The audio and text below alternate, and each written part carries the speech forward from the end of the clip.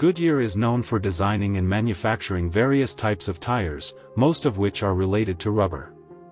However, its subsidiary, Goodyear Aerospace, has also made significant achievements in the field of aircraft design and manufacturing. In the mid-1950s, this subsidiary even developed a specially designed inflatable aircraft. In fact, the concept of inflatable aircraft has been around for a long time.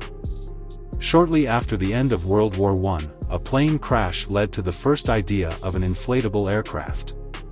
At that time, people envisioned that an inflatable aircraft would not shatter upon impact when it crashed, but would instead act as a cushion to protect the personnel on board. In the 1930s, someone actually built an inflatable glider and conducted some experiments. Goodyear's inflatable aircraft was not designed with survival in mind, but rather to have a small size after being folded, making it suitable for carrying out special missions. For example, it could be used for special agent retreats, airborne reconnaissance in specific environments, and more. It was a specialized aircraft. Of course, this idea was not originally the creation of Americans. For example, the British designed an inflatable aircraft called the ML Light Aircraft Mark I in the early 1950s, but for certain reasons, it was not put into actual production or service. The primary issue facing Goodyear was the material problem, how to ensure that the aircraft was flexible and easy to fold, but also had sufficient rigidity to maintain its shape after inflation. The company developed a special three-layer sandwich structure for the inflatable material, which consisted of two different rubber layers sandwiching a layer of nylon mesh. This material, when inflated, would allow the nylon to come into contact with the air, and after absorbing the moisture from the air, it would harden, thus increasing its strength. Originally, Goodyear designed a single-seat inflatable aircraft. Its aerodynamic shape was similar to a glider, and after being inflated, it had a straight high monoplane.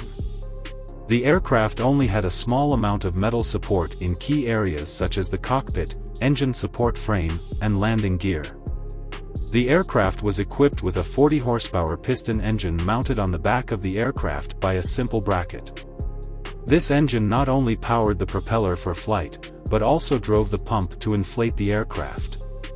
During flight, it maintained its inflated state to maintain the shape of the aircraft. The aircraft could withstand damage from several rounds of standard ammunition, and continuous inflation could compensate for gas leaks from punctures.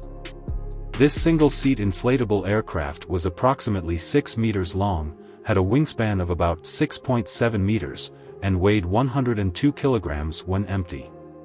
After being folded, it could fit into a 1.25 cubic meters box, making it suitable for airdropping to special personnel.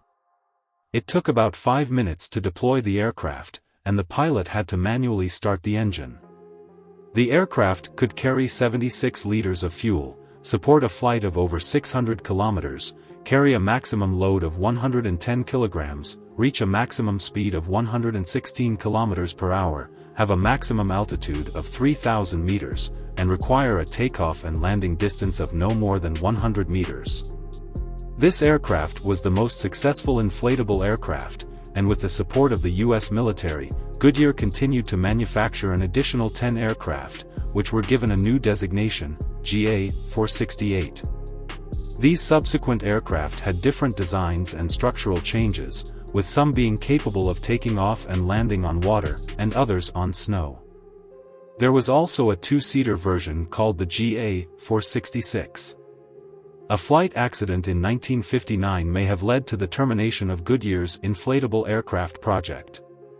At that time, the pilot attempted to perform aggressive maneuvers, which resulted in one wing bending upward and being torn and deflated by the propeller. This caused the aircraft to enter an uncontrollable spiral. The pilot attempted to parachute out of the open cockpit, but the engine collapsed forward, leaving him with no chance to escape. Goodyear announced in the fall of that year that it would permanently halt the inflatable aircraft project and would no longer produce the special inflatable material for this type of aircraft.